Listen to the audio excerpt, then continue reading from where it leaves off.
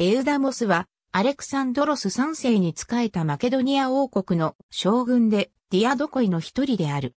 紀元前326年にインド太守ピリッポスが傭兵部隊に謀殺された後、アレクサンドロスはインドにいたエウダモスとタクシレスに新たに太守を任じるまでの中継ぎを命じた。しかし、結局王は後任の太守を指名しないまま死んだ。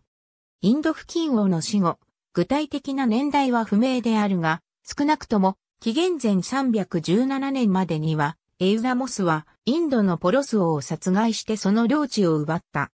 そしてエウメネスとアンティゴノスとの間に再び戦争が勃発すると、紀元前317年にエウダモスは騎兵500機と不評300人、そして120頭の戦像を引き連れてエウメネス陣営に加わった。なお、その翌年にペートンもインドの大主領を引き払って西方に向かったため、王の死からしばらくしてインドの支配権はマケドニア人の手を離れた。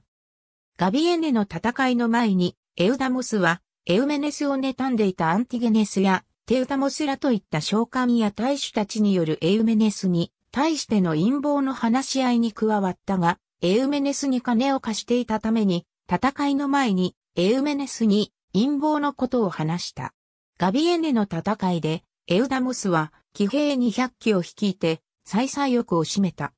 エウメネス軍中央と右翼は、アンティゴノス軍を押していたが、それによって、左翼との間に隙間が生じ、その切れ目からエウダモス隊はアンティゴノスの騎兵部隊の攻撃を受け、大損害を受けて敗走した。しかし、戦い自体は輜重隊を奪われたものの、エウメネス軍優勢に終わった。